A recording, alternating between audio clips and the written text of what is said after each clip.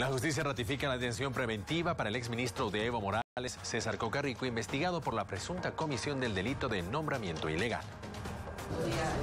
19 días lleva en detención preventiva en la cárcel de San Pedro el exministro de Desarrollo Rural y Tierras, César Cocarico. Antes de ingresar a la audiencia de apelación, el exministro Evo Morales afirmó ser inocente de los cargos que se lo culpan y aseguró que la designación del exdirector del INRA, Juan Carlos León, cumplió con el reglamento.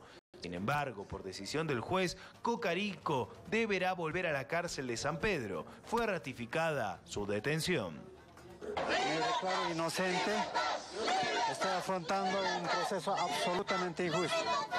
La ley clarita cuál es la autoridad Por eso considero que estoy dentro de un proceso absolutamente injusto. Pero como, como, ¿quién dice? El que nada hace, nada teme. Por eso estamos aquí. Para la defensa del exministro Cocarico, la justicia no valoró las pruebas presentadas para desvirtuar los riesgos procesales. El abogado Wilson Cortés sostiene que la Fiscalía no cuenta con los indicios suficientes para mantener la investigación.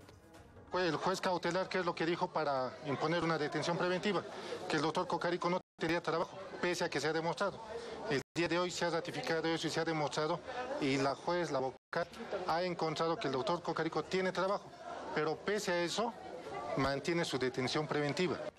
Por este caso, el ex director Juan Carlos León también se encuentra detenido en otro sector del penal de San Pedro, por no haber cumplido con los requisitos que demanda la norma. La Fiscalía no descarta citar a declarar al expresidente Evo Morales, quien habría participado de la designación del cargo.